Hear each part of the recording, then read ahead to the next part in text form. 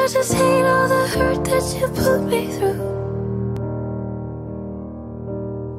And that I blame myself for letting you. Did you know I already knew?